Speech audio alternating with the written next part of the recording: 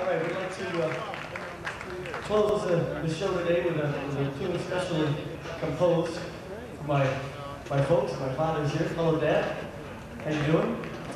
Hello, Susan.